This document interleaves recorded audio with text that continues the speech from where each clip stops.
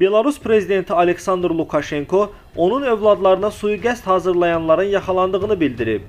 Bu barədə Kanal 13 xarici mətbuata istinadən xəbər verir. Belarus rəhbəri qeyd edib ki, qrupun üzvləri ABŞ-ın xüsusi xidmət orqanlarının əməkdaşları ilə əlaqəlidir. Dövlət başçısı bildirib ki, Belarusun xüsusi xidmət orqanları onun övladlarına qarşı sui-qəsdin qarşısını almağa müvəffəq olublar. Lukashenkonun sözlərinə görə cinayətkarlar əməliyyata uzun müddət hazırlaşıblar. Hətta oğurlayacaqları şəxsləri saxlamaq üçün xüsusi zirzəmi hazırlayıblar.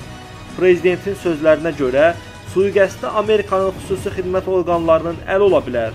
Biz bu qrupu yaxaladıq. Onlar planlarının necə olduğunu hamısını danışdılar. Sonra biz aydınlaşdırdıq ki, bu işdə xarici xüsusi xidmət orqanlarının əməyi var. Ehtimal ki, bu MKI ya FTB-dir.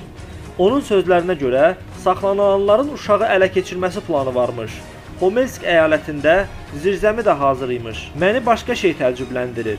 Niyə Amerikalılar özlərini belə aparırlar? Prezidenti aradan götürmək istəyini ən yüksək siyasi rəhbərlikdən başqa heç kim razılıq vermir. Yalnız onlar. Başqa heç bir xüsusi xidmət orqanı. Belarus prezidenti vurğulayıb. Belarus Federal Təhlükəsizlik Xidmətinin İctimaiyyətlə Əlaqələr Mərkəzi öz növbəsində ölkədə hərbi çevriliş cəhdinin qarşısının alındığını bildirib. Xidmətin məlumatına görə Rusiyanın paytaxtı Moskvada ABŞ və Belarus vətəndaşlığı olan Yuri Zenkoviç və Belarus vətəndaşı Aleksandr Feduta saxlanılıblar. Qeyd edilir ki, onlar mayın 9-da Minskdə Belarus prezidentinə sui-qəsdi həyata keçirməklə hərbi çevriliş planı hazırlayıblar.